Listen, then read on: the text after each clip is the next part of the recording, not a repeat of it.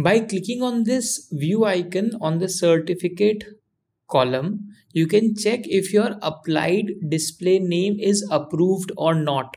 Once approved, it won't directly apply on your WhatsApp number.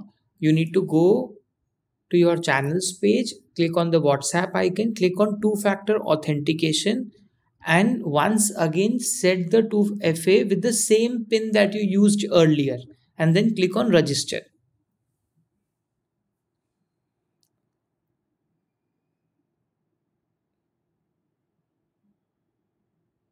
So once the pin is registered or set again, we'll refresh page and we'll see